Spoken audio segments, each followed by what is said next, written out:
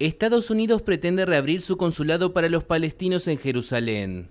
Así lo afirmó el martes el jefe de la diplomacia estadounidense Anthony Blinken, tras reunirse en Ramallah con el presidente de la autoridad palestina Mahmoud Abbas.